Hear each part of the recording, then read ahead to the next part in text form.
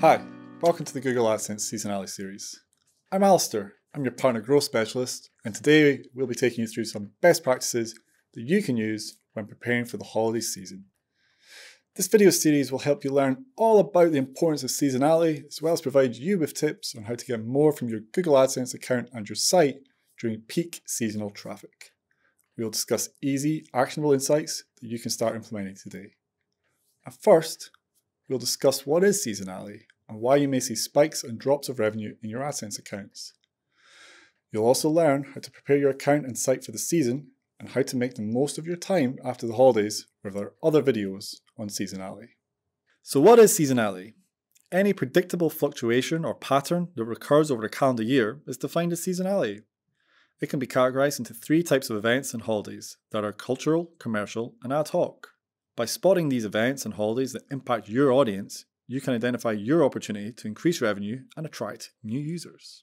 There are various drivers for seasonality. During the high season, users spend more time online searching for presents or celebration ideas. Advertisers are then willing to pay more for inventory, leading to higher RPMs. These two factors drive seasonal spikes and dips in publisher earnings. Why is it important for you? Seasonality offers publishers opportunities to attract new audiences and maximize your revenue. The upcoming holiday season, which is between October and December, is the biggest annual seasonal opportunity. Let's explore why. First, the large increase in internet traffic creates higher impressions opportunity. Over the past five years, the holiday season internet traffic has grown as users flock online to purchase gifts for themselves and others. And secondly, higher competition between advertisers creates higher RPMs opportunity. The holiday shopping season is the busiest retail period of the year. Advertisers spend more during this time to ensure their products and brands are well positioned at key events like Black Friday and Cyber Monday.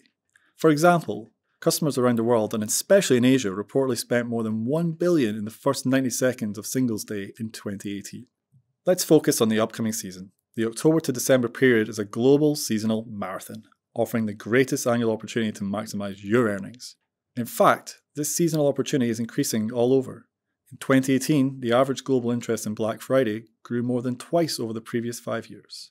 It's time to get your calendar open and mark the following dates. It's also really important to note that even if these holidays might not be relevant for your country, they can still be relevant for your audience from abroad. So we hope this video helps you better understand what seasonality is and why it's important for you. To learn more, you can visit the AdSense Help Center and AdSense website via the links in the description of this video.